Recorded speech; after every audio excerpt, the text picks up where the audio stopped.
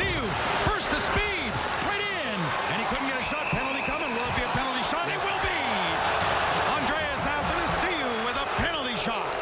It's funny, Nick Cronwell just, he looked at me and he just did a fist pump when they awarded the penalty shot.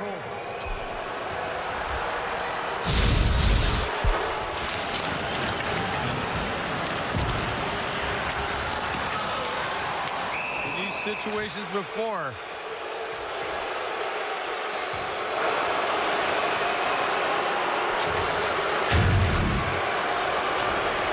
Andreas Athanasiou with a penalty shot to tie the game here in Ottawa. Athanasiou on Craig Anderson. And Anderson beats him.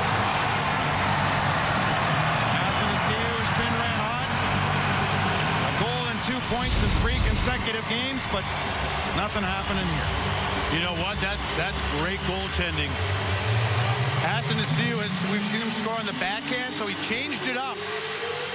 Went to his forehand power move, but Anderson was already there. Look at this. The veteran goaltender flinch, but no flail. Back to the line for Whiteman. That was blocked and away to the races. Here's Rasmussen. He's in the clear. In on goal. Is there going to be another penalty shot? Yes! There will be. Two in the same game. One from 72 and now one from 27. Michael Rasmussen with his first penalty shot upcoming. Fouls awarded to Detroit as the player was fouled from behind and denied a reasonable scoring chance. Great explanation.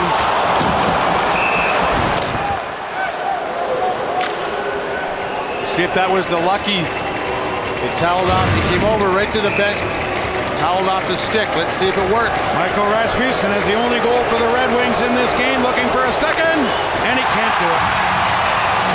Craig Anderson has stopped two penalty shots, the second in the career of Andreas Athanasiou, and the first for Michael Rasmussen. Tried to uh, catch him quick. Watch. He's going to make a move. No, he's going to shoot Anderson. Non-plus, the veteran, just making it look routine. Wow.